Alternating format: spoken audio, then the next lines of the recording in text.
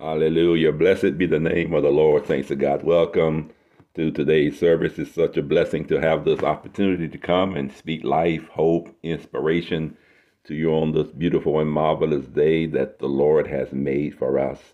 Let us rejoice and be glad in it. Hallelujah. For he is the King of glory, the Lord of hosts, strong and mighty in battle. Hallelujah such a wonderful time of worship with you all this morning, and let us continue with that spirit of worship as we prepare our hearts and minds to receive the Word of God today. And today I'd like to bring you a message entitled The Fullness of a Life in Christ. The Fullness of a Life in Christ. And we're going to be using as a foundational text today for our message the scripture from John chapter 10, verse 10. John chapter 10, verse 10 will be our foundational scripture for today's message entitled The Fullness of a Life in Christ. I want you to say that with me, children of God. The fullness of a life in Christ. Hallelujah. And so, again, saints, we gather here to explore the profound and transformative theme of the fullness of a life in Christ. And I want you to know that this concept is not just an abstract theological idea, but a practical reality that can and should shape our daily lives.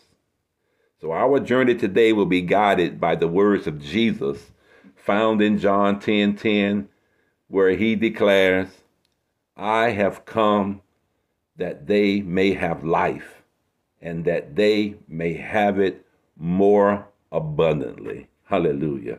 Let us get a word of prayer in this morning, thanks to God. Father, we bless you. We come before your presence today with humbleness, with thanksgiving, with adoration, with worship and praise in our hearts and minds.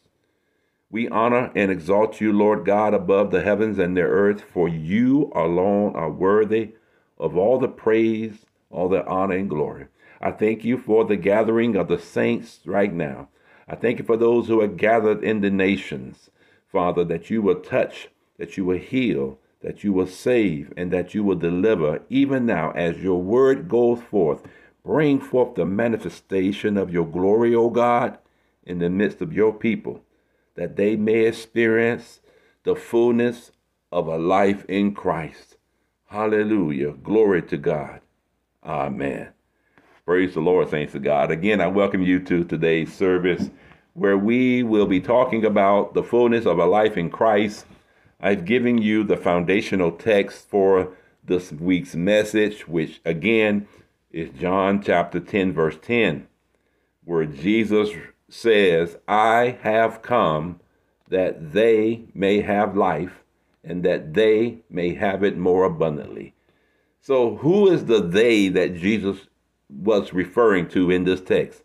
Then he was talking about those who believe in the name, in his name, those who have placed their faith in him, those who have surrendered their lives to him, those who seek to follow and to serve him. They, that they, those ones that I just described to you, that they may have life. And it is my prayer on this day that you are part of the they that Jesus is speaking of in this text.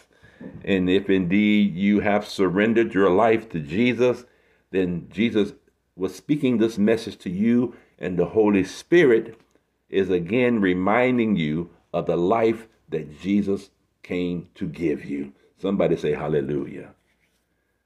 So let's talk about understanding the fullness of a life in Christ. We see several things that Jesus outlined that would manifest in the lives of those who follow after him.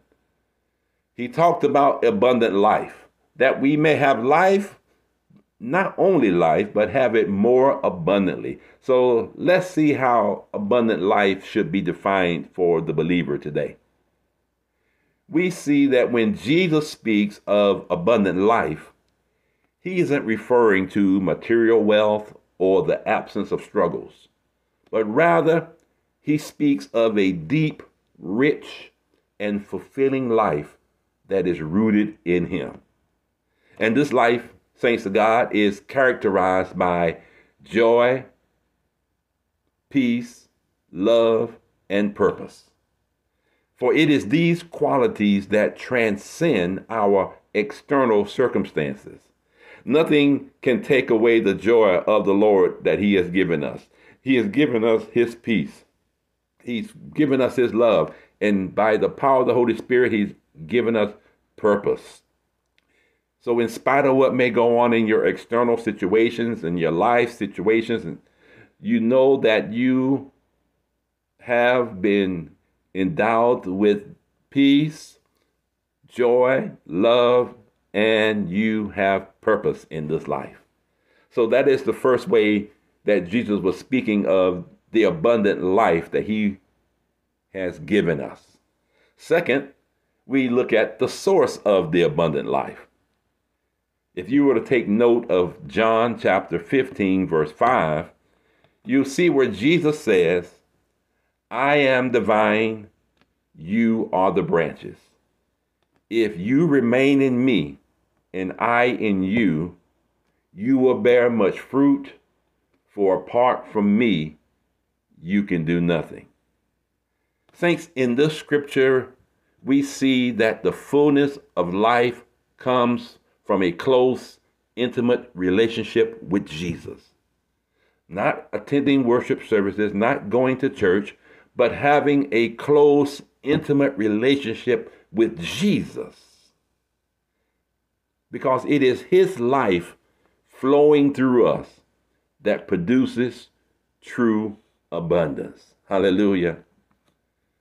A second thing we need to really grasp in order to understand what it is to have the fullness of a life in Christ is that we must know how to live in the fullness of Christ.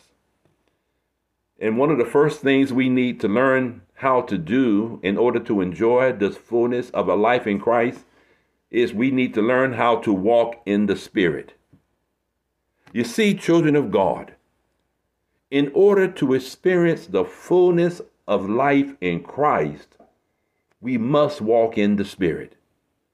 We'll see that the Apostle Paul talked about this in Galatians chapter 5, verses 22 to 23 where he tells us about the fruit of the Spirit, which is love, joy, peace, long suffering, kindness, goodness, faithfulness, gentleness, and self control.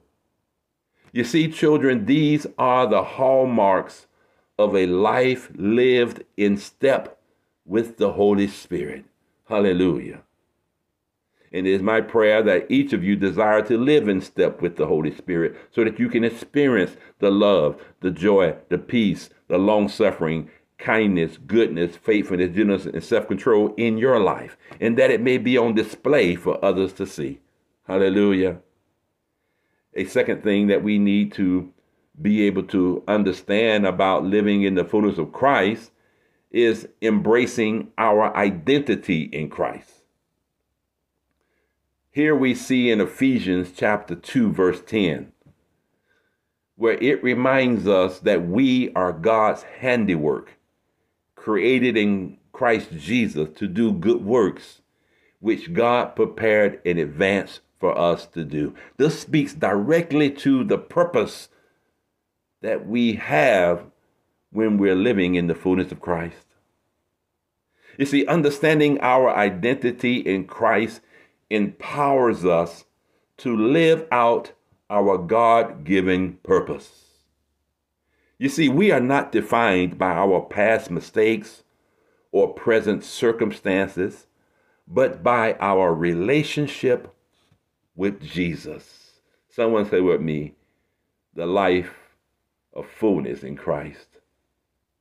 A third thing that we need to embrace about living in the fullness of Christ is how to cultivate a life of worship and gratitude. Children of God, you see, a heart full of gratitude and worship is a heart that recognizes the fullness of life in Christ. We see in 1 Thessalonians chapter 5 verses 16 through 18 where Paul exhorts us to rejoice always, pray continually, give thanks in all circumstances, for this is God's will for you in Christ Jesus. And saints, when we focus on God's goodness and faithfulness, our perspective shifts and we begin to experience life more abundantly. Hallelujah. A third phase of this experience that we should have as we live in the fullness of Christ is that we should be able to share the fullness of Christ with others. And the first way we have been destined to do so is by being salt and light in the earth. We see in Matthew chapter 5, verses 13 through 16, where Jesus calls us to be the salt of the earth and the light of the world. You see, children of God, our lives, transformed by Christ, should naturally flow and draw others unto Him. And as we live out the fullness of life in Christ, we become a living testimony of His grace and His love. A second aspect of sharing the fullness of Christ is engaging in acts of service and compassion. You see, children of God, this is not just going through the motions, but it is living in the fullness of Christ that compels us to serve others, just as Christ did. We see in Matthew 25, verses 35 through 40, that Jesus teaches Whatever we do for the least of these, we do for Him. We need to understand that our acts of service and compassion are tangible expressions of the abundant life we have in Christ. Hallelujah, somebody. And the third way that we can share the fullness of Christ with others is through the sharing of the gospel, the good news of Jesus Christ his, and his kingdom. So as we look at this final aspect of the fullness of the life of Christ, we know that there is something that we are called to share, and that is the good news. In Matthew chapter 28, verses 19 through 20, Jesus gives us what is commonly referred to as the Great Commission, where he says, Therefore, go and make disciples of all nations, baptizing them in the name of the Father and of the Son and of the Holy Spirit, and teaching them to obey everything I have commanded you. We see a very clear directive given by Jesus, and it is up to us to embrace his message by sharing the good news of Jesus because this is the ultimate way to spread the fullness of the life that we have received. So, in conclusion, today, saints of God, we're talking about the fullness of a life in Christ. We need to understand that it is a gift and a calling. It is a life marked by intimacy with Jesus the fruit of the Spirit, a sense of purpose, worship, gratitude, service, and a commitment to sharing the gospel. And so, as we meditate upon today's message, let us seek to live out this fullness by allowing the life of Christ to overflow from us into the world around us. May we be vessels of his love, joy, and peace, drawing others into the abundant life that only he can provide. In Jesus' name, hallelujah. Amen. You've been listening to Seed Time and Harvest with Bishop Lyndon Hutcherson of Amazing Grace Ministries. We were blessed that you tuned in to today's message and look forward to connecting with you in person or on future podcasts. Feel free to reach out to us for more information about our ministries by visiting our website Amazing Grace Ministries at www.agministries.net.